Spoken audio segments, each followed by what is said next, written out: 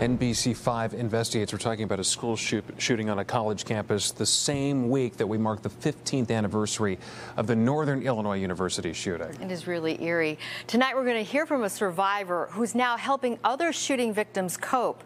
He talked to our Patrick Fazio. It'll always be a part of me, and it's always in my head. It does get easier as time goes on, but that scar is there forever. Patrick Korellis of Chicago copes with surviving the shooting at Northern Illinois University by talking to other victims. Talking about it helps because you just get all your feelings out there with people that have been through the same thing as you, and you just don't hold it in.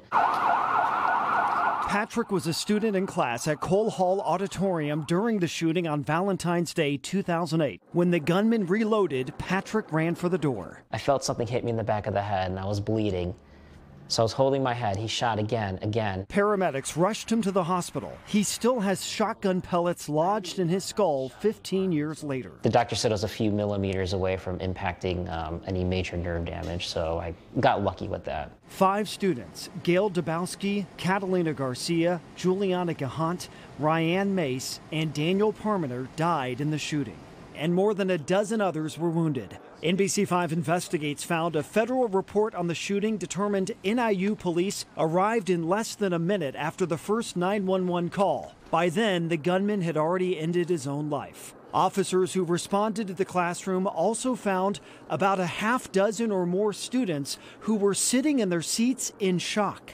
I remember I froze when it happened. When I was hiding, I was frozen. Patrick says he understands why some of his classmates were frozen in shock during and after the shooting. The gunshots keep going and going, and it's you're just like panicking, like, what do I do? What do I do? Things were flashing in front of my face my family, my friends, my life. Since that 2008 shooting, FBI statistics show active shootings across the U.S. have increased sharply, especially the last few years. From 2019 to 2020, there was a 33% increase in active shooter incidents, followed by a 52.5% increase from 2020 to 2021.